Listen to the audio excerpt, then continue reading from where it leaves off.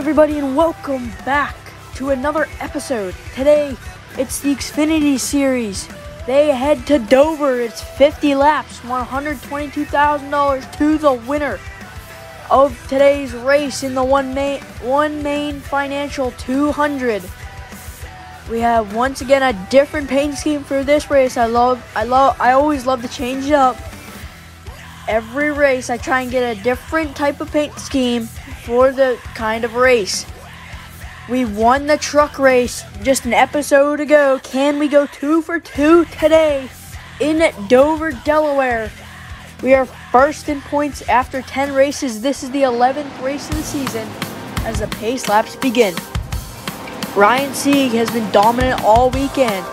He has also been awarded the pole for having the fastest lap in qualifying. And our teammate of Chase Briscoe is starting at the back after failing pre-race inspection.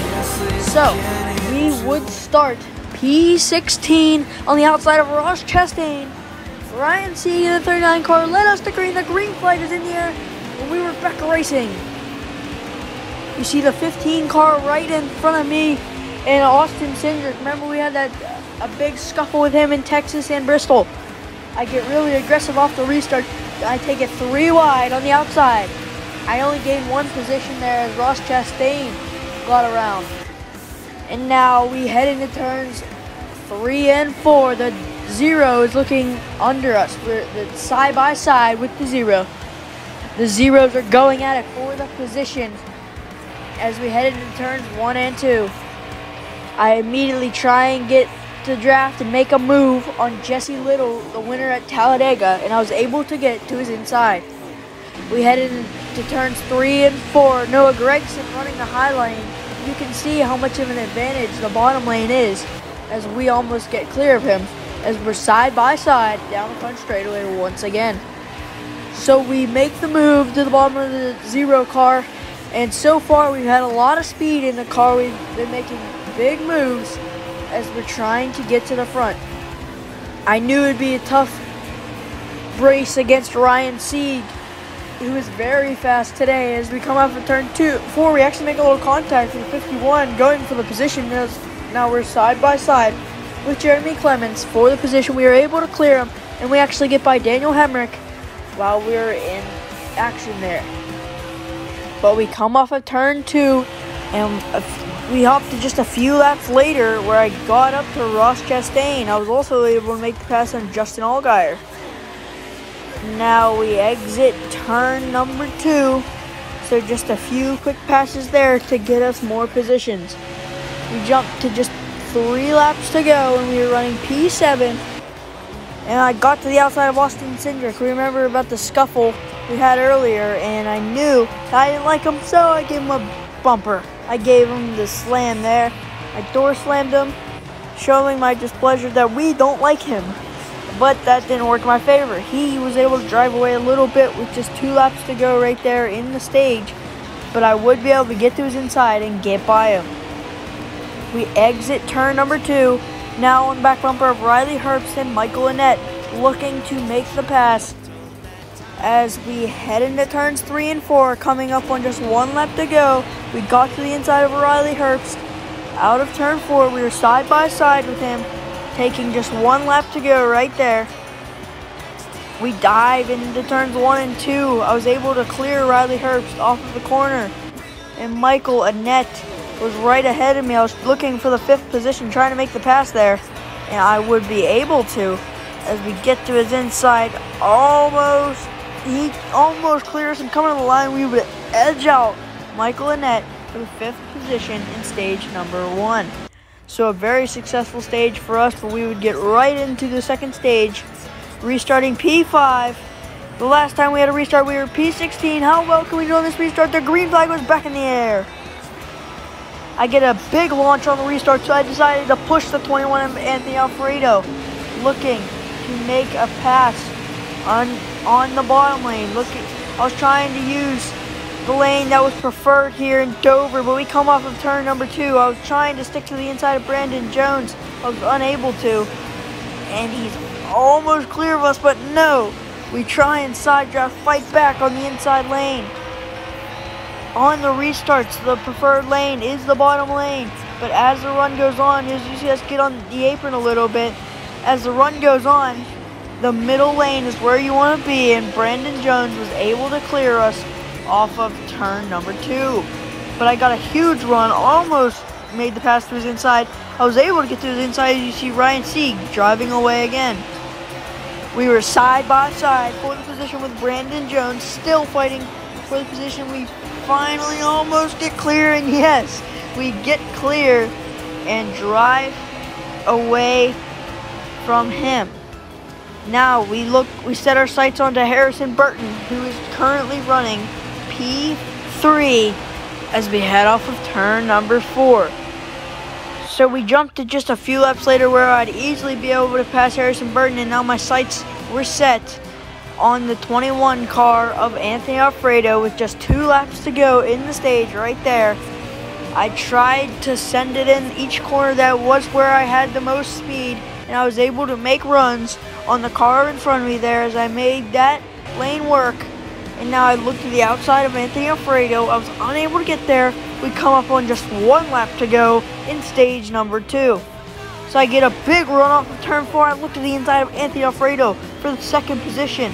Now we look on to Ryan Sieg, who's way ahead, just just like he was earlier.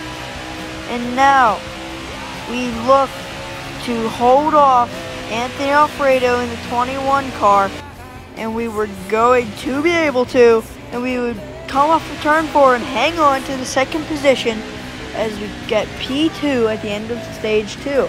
So it's P5 in stage one and P2 in stage two.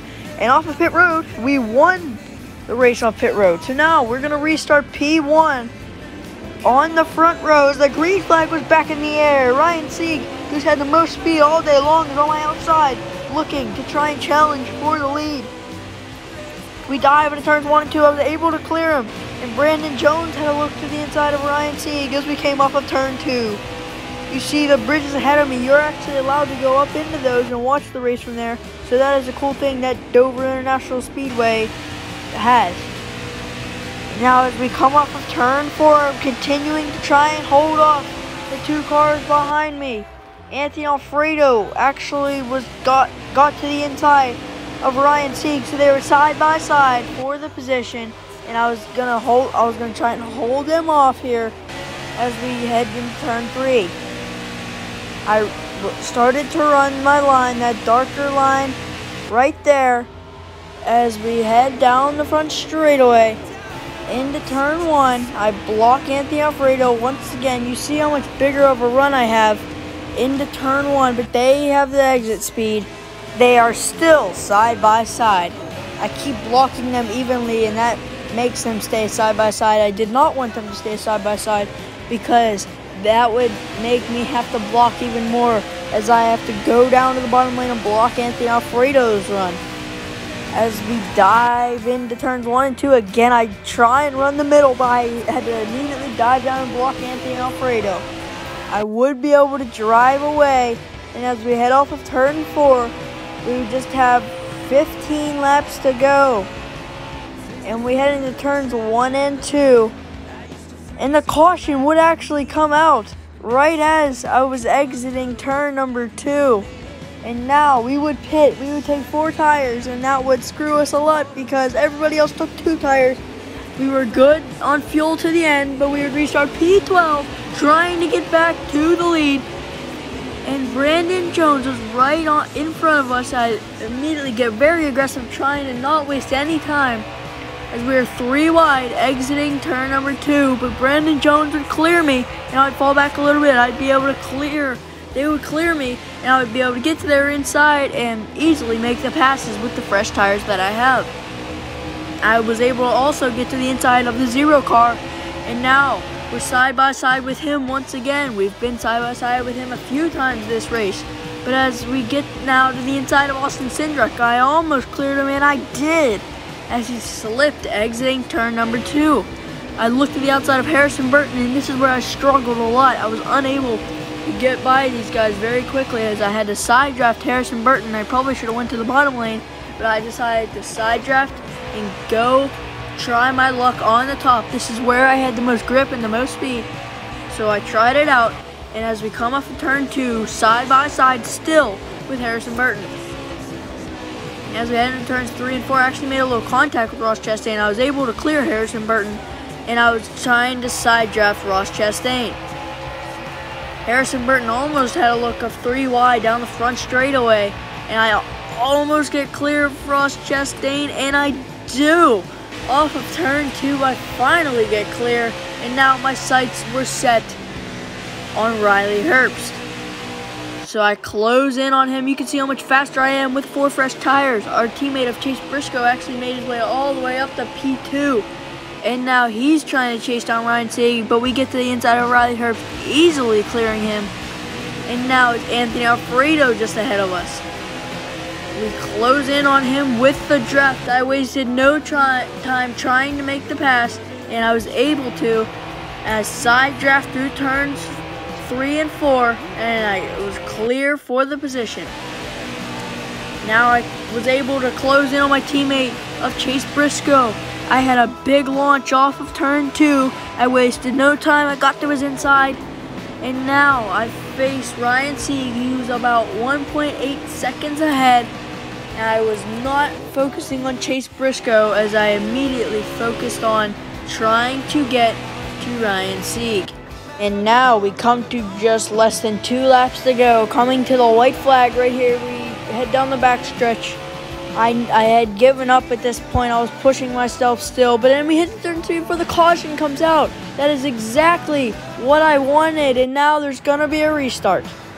Just like that, the field is stacked back up, and we're restarting on the outside of Ryan Sieg as the green flag is back in the air. With just two laps to go, Ryan Sieg spins the tires a little bit. We get a great restart, and now we clear him into turns one and two. Just two miles to go in Dover, and we lead them off of turn number two. Chase Briscoe, our teammate, is looking at the outside of Ryan Sieg. He's unable to get there. We dive in turns three and four. Once we see the white flag wave, the next flag will end the race. We've seen lots of cautions today. White flag. Next flag ends the race. Can we hold off Ryan Sieg? He started on the pole. He's been the fastest all day long. And now I try and run the middle. It's where I've been fastest all day. He runs the bottom. He's right on my bumper. I have to go down and block. Down the back straightaway for the final time. We head into turns three and four. I block the bottom. Ryan Sieg doesn't have a run for me, and as we come off of turn four, we're going to be able to steal the win in Dover. So a, a, great situation there for us at the end. A caution with two to go. And now it's time to do our burnout. Turn me up, the knob, right?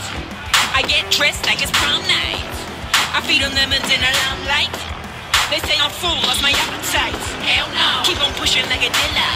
Hell no. Keep on shooting Reggie Miller. Hell no. Go and give them all the finger. You gotta set the score right. Call it Hans Zimmer.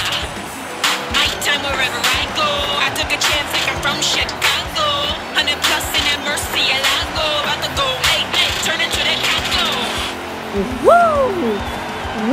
Number four on the season for us in the Xfinity Series. There you see the points. Four wins. We are over 100 points above second place. Now, as Ryan Sieg was the dominant car all day, but we were able to get a very timely caution, make the pass, and there you see us in victory lane in Dover. For the second time this weekend, we sweep the weekend once again this time there's no critics. More and more drivers approve of Jonathan Shumaker's clean driving style. So that is what we wanted to see in the article. But next episode, we head to Martinsville for the Cup Series, our second hot seat of our career. Our goal is to get a top 35 finish. It'll be 125 laps and $177,428 to the winner of that race. We usually have some speed at Martinsville, but not too much. But now I have school coming up, so I will not be uploading Sundays and Wednesdays. It will be whenever I can get it out. I will try my hardest to get it out. But thank you guys so much for watching. Make sure you subscribe, give this video a thumbs up, and I'll see you guys in the next episode.